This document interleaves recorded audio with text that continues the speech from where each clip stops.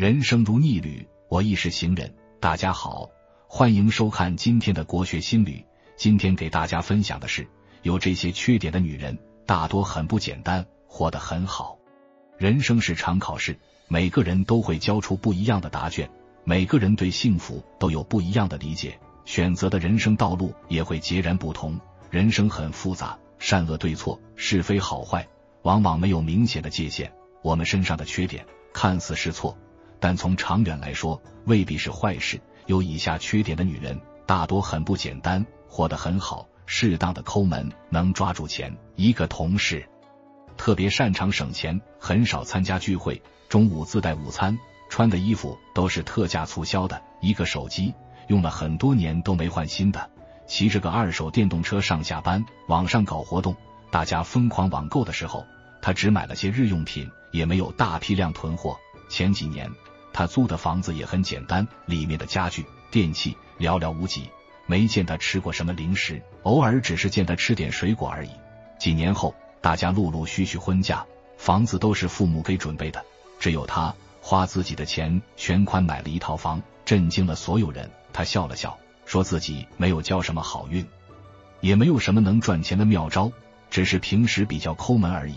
适当抠门的人，懂得管理自己的钱，人生路上。没有那么多的物欲，有明确的目标，努力攒钱。诸葛亮说：“夫君子之行，静以修身，俭以养德，非淡泊无以明志，非宁静无以致远。”适当抠门的人会让自己少应酬、少交际，有更多的时间可以做自己喜欢的事，而且还能把钱花得更有价值，让自己未来的生活更加稳定，对未来的期待更高。抓住钱。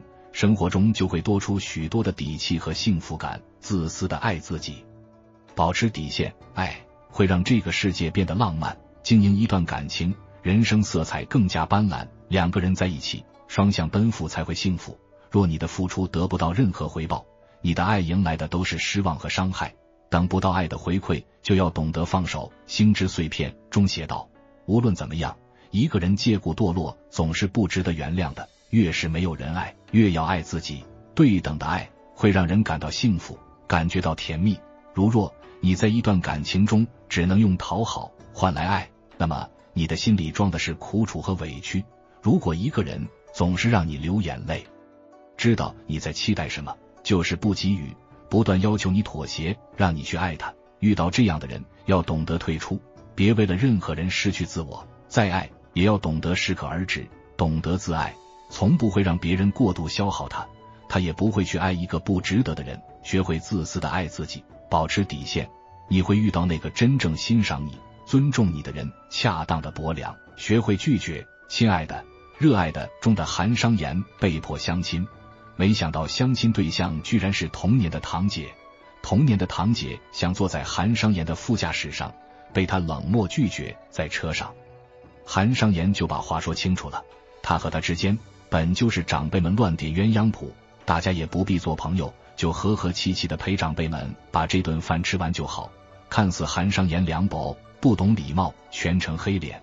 其实他这样干脆利落的拒绝不喜欢的人是对的。学会薄凉，学会拒绝，你才能真正得到你想得到的幸福。三毛在自己中写道：不要害怕拒绝他人，如果自己的理由出于正当，生活中那些恰当薄凉的人。有一副生人勿近的姿态，从不会随意对他人示好，而是懂得择友而交。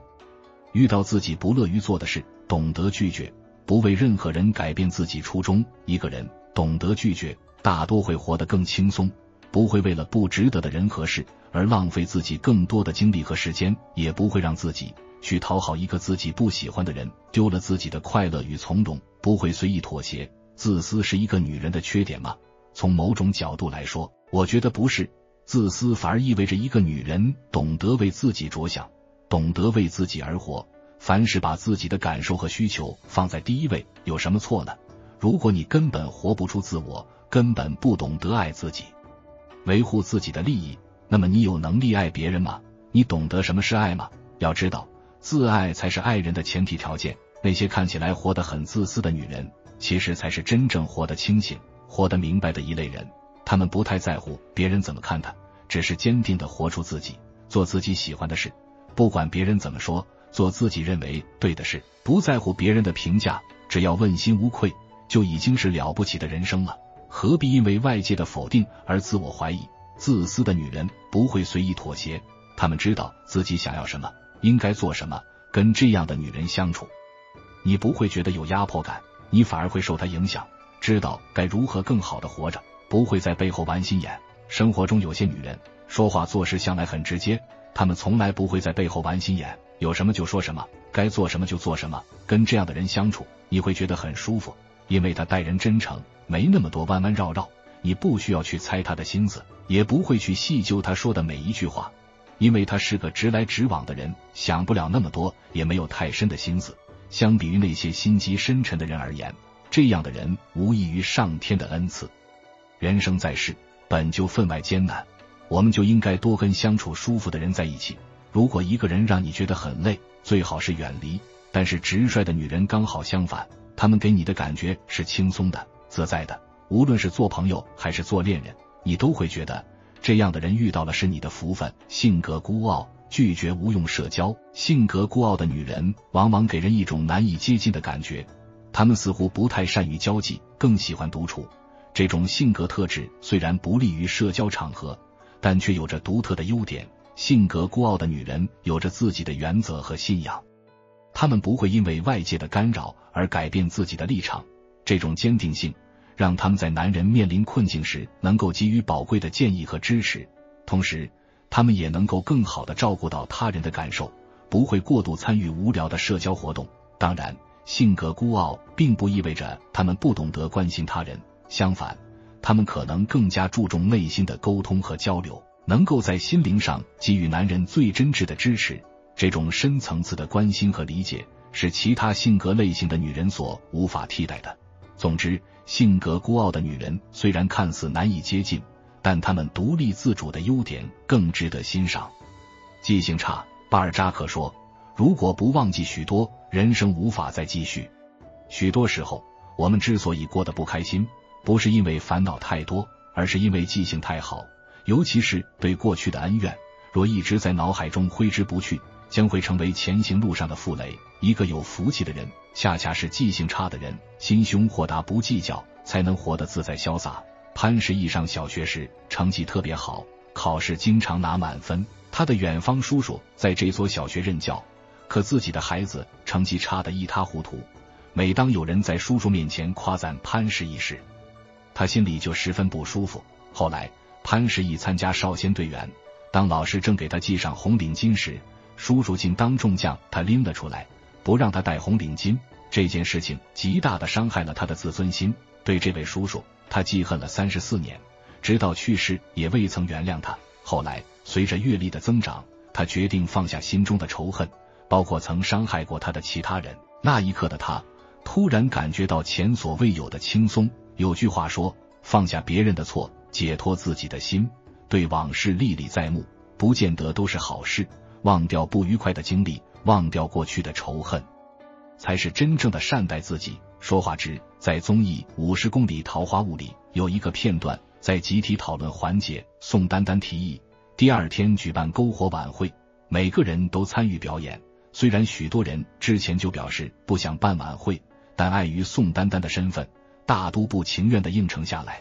除了王传君，当宋丹丹让他上台表演节目时，王传君直接拒绝：“我是不会演的。”包括宋丹丹在内的所有人都表现出一脸诧异。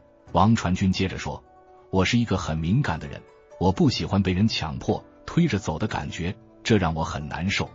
我更期待到最后，我们是自然而然的、发自内心的想唱歌、想跳舞。”话音刚落，旁边的许多小伙伴都拍掌称赞。生活中常有人碍于情面，拐弯抹角的说一些违心话，殊不知。这样不仅是在浪费时间，更增加了自我内耗。《论语》说：“智者思其所言，愚者言其所思。”人与人之间最好的沟通方式，不是讳莫如深，而是心口一致。与其强迫自己做个世故的人，不如坦诚的表达自己的看法。只有倾听自己内心真实的想法，接纳自己，成全自己，才能活得从容潇洒。会偷懒，不让自己太忙。人生真的很长。我们没有必要让自己活得过于慌张。遇到事情别太着急，好的结果总会在不经意的时候出现。而我们要做的是抱着希望静待美好。没有人愿意长期处于紧张的氛围当中。一个过于紧凑的人会给身边人带去巨大的压力。学会偷懒，既放过了自己，也成全了别人。做人要做一个懒一些的人，不必过度操劳。毕竟在这个世界上，事情只有三件：自己的事情、他人的事情和老天爷的事情。做好自己的事情，把握住节奏，不管他人的事情，给足尊重。莫问老天爷的事情，不杞人忧天。若觉得活得太累，就让自己休息一下。如果实在坚持不下去，就暂时停下脚步。太卷的环境不利于身心健康，更会将幸福感得无影无踪。以上就是今天的全部分享。如果你也喜欢本期内容，欢迎持续关注、点赞、订阅。